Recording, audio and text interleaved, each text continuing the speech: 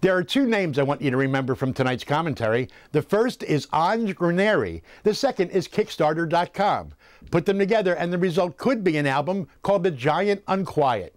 Good evening, South Jersey. I'm David Spatz. Graneri is a very talented singer, songwriter, pianist, and poet from Ventnor. Kickstarter is a unique website that helps people raise funds for interesting projects. After self funding her first two albums, Graneri has become the first artist from southern New Jersey to use the website to gather the financial backing for her third LP. Graneri needs to raise $15,000 by December 8th to make the recording of her introspective and original music. Now, to do that, she's looking for friends with benefits, but it isn't what you think. Here's how Kickstarter works. People who pledge money become backers of the album. If Graneri reaches her goal, then those backers get to enjoy some benefits. Now, depending on their level of support, contributors to the Giant Unquiet will enjoy some perks. Donate from one to nine bucks, and if the album gets produced, you can download an MP3 file of a featured single.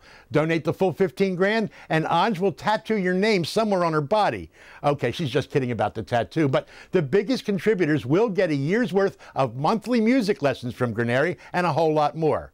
Right now, Graneri is just $4,000 or so short of her December 8th goal and has less than a week before the campaign ends. To support Anj Graneri's project, go to anjmusicnow.com and click on the Kickstarter link. Now, coming up on the December 10th edition of Curtain Call, we'll take you to the red carpet to chat with singer Mary J. Blige, rapper and actor Ice-T and his wife Coco, and Motley Crue drummer Tommy Lee next Saturday night at 6 right here on NBC 40. And that is your Curtain Call Entertainment Commentary. I'm David Spatz, News Channel 40, NBC.